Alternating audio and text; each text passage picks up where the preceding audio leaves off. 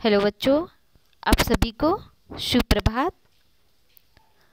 आज मैं बीए प्रथम वर्ष हिंदी साहित्य के द्वितीय भाग में कहानी के तत्व के बारे में बताऊँगी।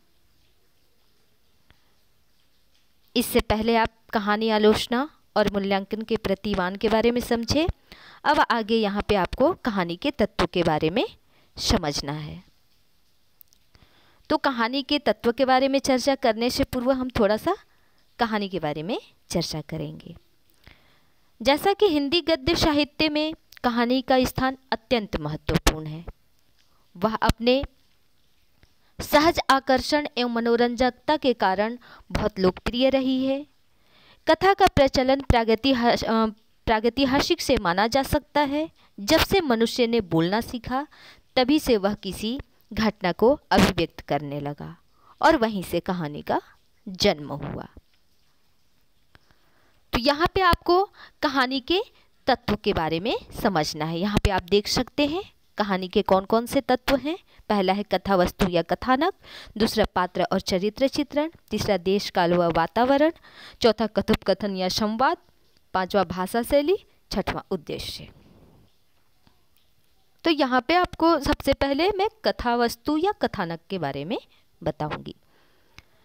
कथा वस्तु या कथानक के अंतर्गत कहानी की कथा वस्तु या कथानक अत्यंत संक्षिप्त होता है। यह किसी जीवन के किसी अंश विशेष की अनुभूति को अत्यंत हृदय स्पर्शी रूप में प्रस्तुत करता है। इसको दर्शाने के लिए ही कथाकार कथा वस्तु या कथानक का मुख्य कथा, कथानक का चुनाव करता है। उसका चुनाव इस प्रकार का होता है, जिस पर कहानी का पूरा ढांचा खड़ा होता है। कथा वस्तु या कथानक के विकास की पाँच अवस्थाओं को प्राय सभी विद्वानों ने स्वीकारा है। वो अवस्थाएँ कौन कौन सी हैं? वो अवस्थाएँ हैं, पहला प्रारंभ, दूसरा आरोह, तीसरा चरमोत्कर्ष, चौथा अवरोह और पांचवा अंत।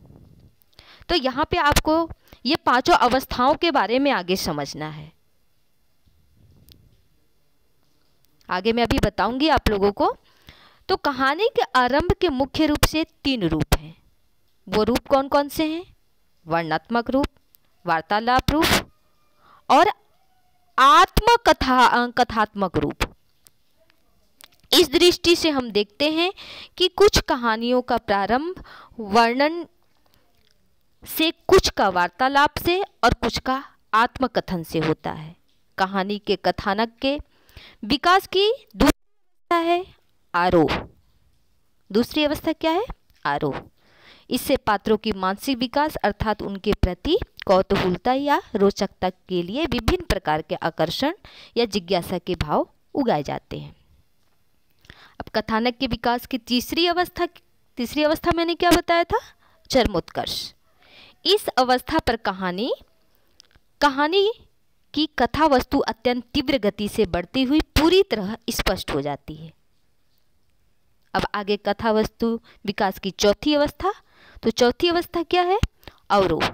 इस अवस्था में कहानी पहुंचकर चरमोत्कर्ष, उत्सुकता और कौतूहलता के समाधान में लग जाती है। अब आखिरी पांचवा अवस्था है। कथा वस्तु के विकास की अंतिम अवस्था क्या है? अंत। यहाँ आकर कहानी अंततः निहित अपने रहस्य का उद्घाटन कर देती है। पांचवा क्या है?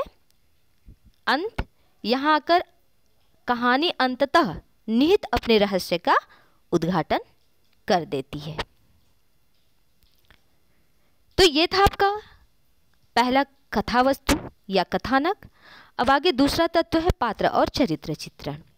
तो पात्र और चरित्र चित्रण के अंतर्गत पात्रों के चयन कथाकार तंत्र होता है, इसलिए कथाकार अपनी स्वतंत्रता के अनुसार किसी भी काल, स्थान या दशा के पात्रों का चुनाव कर सकता है। उसका यह चुनाव उसके आत्मानुभव के धरात धरातल पर पाठकों की अभिरुचि और तदात्म्य स्थापित करने के ही उद्देश्य से होता है।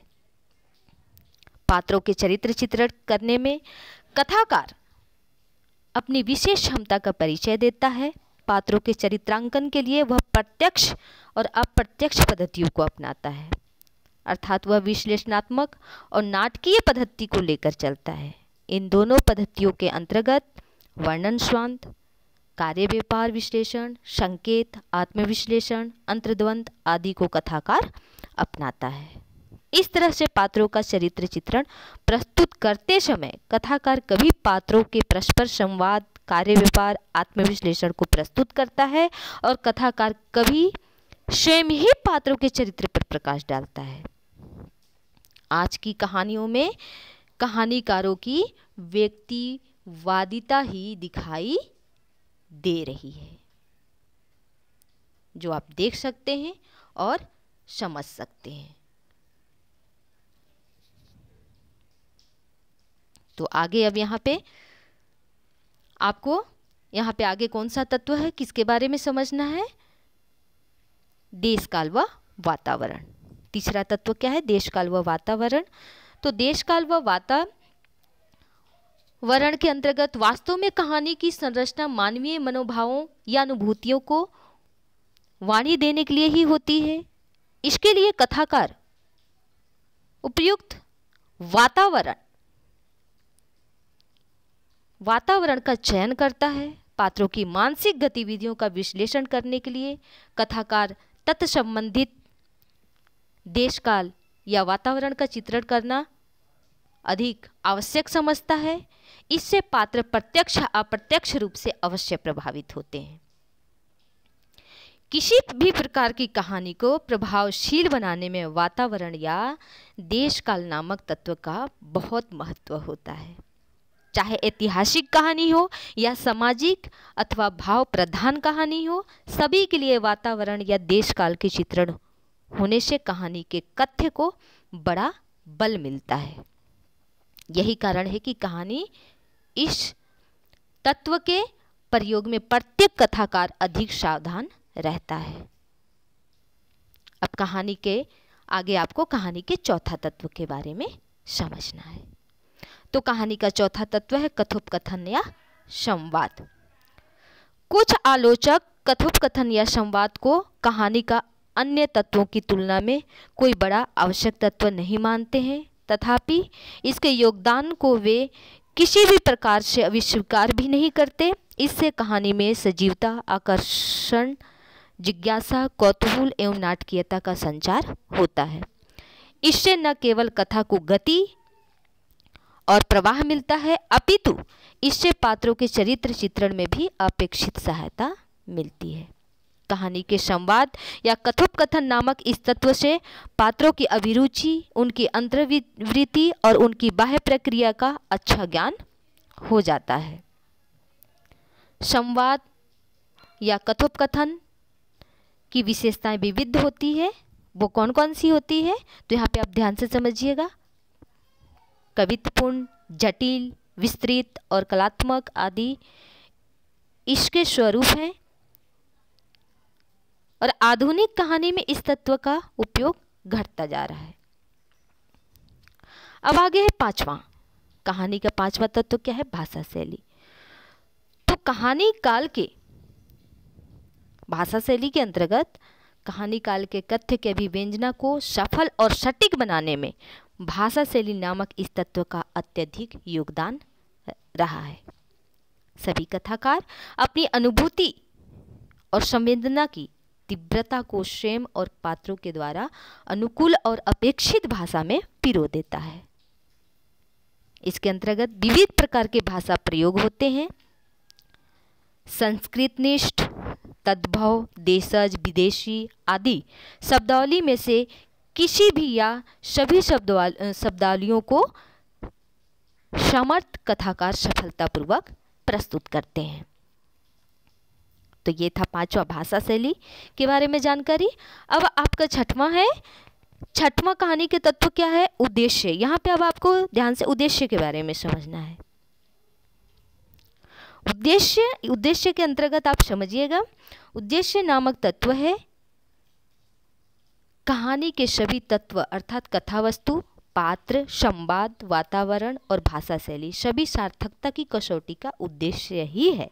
कहानी का उद्देश्य उपदेशात्मक तो होता है, लेकिन यह प्रत्यक्ष ना होकर अप्रत्यक्ष अर्थात कलात्मक ढंग से ही होता है। यहाँ यह ध्यान देना होगा कि सभी कहानियों के उद्देश्य अलग अलग ढंग से दिखाई देते हैं। कुछ कहानियाँ के उद्देश्य स्पष्ट होते हैं तो कुछ के अस्पष्ट, और नई कहानियों के उद्देश्य परंपरा के प्रति विद्रोह, वर्तमान से निराशा, कुंठा, घुटन, पराजय आदि प्रवृत्तियों को कलात्मक ढंग से प्रस्तुत करते हैं। तो ये था कहानी के तत्वों के बारे में जानकारी, जिसमें कहानी के यहाँ पे आप लोगों ने कहानी के तत्वों के बारे में समझा, जिसमें पहला था कथा वस्तु या कथानक, दूसरा पात्र और चरित्र चित्रण, तीसरा देश काल व वातावरण, चौथा कथोपकथन या संवाद, पांचवा भाषा शैली और छठवां उद्देश्य। तो बस कहानी के तत्वों में इतना ही।